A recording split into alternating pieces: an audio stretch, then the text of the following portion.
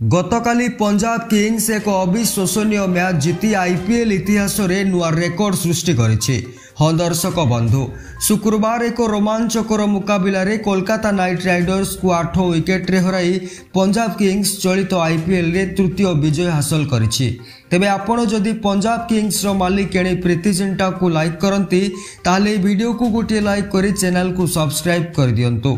ସ୍ଥାନୀୟ ଇଡେନ୍ ଗାର୍ଡେନ୍ସରେ ଖେଳାଯାଇଥିବା ସିଜନ୍ର ବୟାଳିଶତମ ମ୍ୟାଚ୍ରେ ଟସ୍ ହାରି ପ୍ରଥମେ କୋଲକାତା ନିର୍ଦ୍ଧାରିତ କୋଡ଼ିଏ ଓଭରରେ ଛଅ ୱିକେଟ୍ ହରାଇ ଦୁଇଶହ ଏକଷଠି ରନ୍ କରିଥିଲା।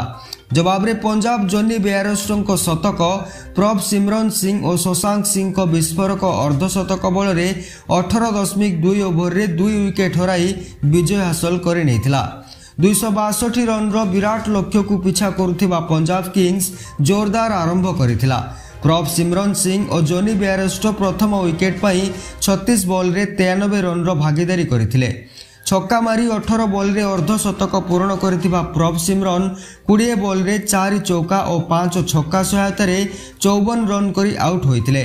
ଏହାପରେ ବେୟାରଷ୍ଟଙ୍କ ସହ ଯୋଗ ଦେଇଥିବା ରିଲି ରୁଷ ମଧ୍ୟ ଦ୍ରୁତ ଗତିରେ ରନ୍ ସଂଗ୍ରହ କରିଥିଲେ। ତେବେ ରିଲି ରୁଷ ଷୋହଳ ବଲ୍ରୁ ଛବିଶ ରନ୍ର ପାଳି ଖେଳି ଆଉଟ୍ ହେବା ପରେ କ୍ରିଜ୍କୁ ବ୍ୟାଟିଂ ପାଇଁ ଆସିଥିଲେ ଆଇପିଏଲ୍ ହିରୋ ଶଶାଙ୍କ ସିଂ। ସେ ଧୂଆଁଧାର ବ୍ୟାଟିଂ କରି ଅଠେଇଶ ବଲ୍ରେ ଦୁଇ ଚୌକା ଓ ଆଠଟି ବିଶାଳ ଛକା ସହାୟତାରେ ଅଠଷଠି ରନ୍ କରି ଅପରାଜିତ ରହିଥିଲେ। ସେହିପରି ଜନି ବେୟାରେଷ୍ଟ ଅଡ଼ଚାଳିଶ ବଲ୍ରୁ ଆଠ ଚୌକା ଏବଂ ନଅଟି ଆକାଶଚୁମ୍ବୀ ଛକା ସହାୟତାରେ ଶହେ ଆଠ ରନ୍ କରି ନଟ୍ ଆଉଟ୍ ରହିଥିଲେ। ମ୍ୟାଚ୍ରେ ପ୍ରଥମେ ବ୍ୟାଟିଂ ଆମନ୍ତ୍ରଣ ପାଇଥିବା କେକେଆର୍ ଦୁଇ ଓପନର ଫିଲ୍ ସଲ୍ଟ ଓ ସୁନୀଲ ନାରିନଙ୍କ ବିସ୍ଫୋରକ ବ୍ୟାଟିଂ ବଳରେ ପ୍ରଥମ ୱିକେଟ୍ ପାଇଁ ଶହେ ଅଡ଼ତିରିଶ ରନ୍ର ପାର୍ଟନରସିପ୍ କରିଥିଲା।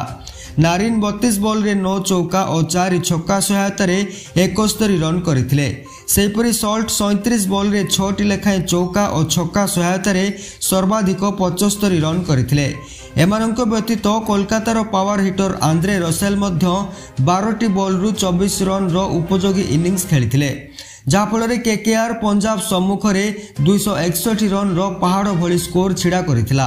କିନ୍ତୁ ପଞ୍ଜାବର ଲଢ଼ୁଆ ବ୍ୟାଟିଂ ଯୋଗୁଁ ଆଠ ୱିକେଟ୍ରେ ହାରି ଯାଇଥିଲା କେକେଆର୍ ପଞ୍ଜାବ ପକ୍ଷରୁ ହର୍ଷଦୀପ ସିଂ ସର୍ବାଧିକ ଦୁଇଟି ୱିକେଟ୍ ନେଇଥିଲା ବେଳେ ସାମ୍ କରନ୍ ଓ ରାହୁଲ ଚହରଙ୍କୁ ଗୋଟିଏ ଲେଖାଏଁ ସଫଳତା ମିଳିଥିଲା ଏହିପରି ପ୍ରତିଦିନ ଓଡ଼ିଆରେ ଆଇପିଏଲ୍ ନ୍ୟୁଜ୍ ଜାଣିବା ପାଇଁ ଭିଡ଼ିଓକୁ ଲାଇକ୍ ଏବଂ ଚ୍ୟାନେଲକୁ ସବସ୍କ୍ରାଇବ୍ କରନ୍ତୁ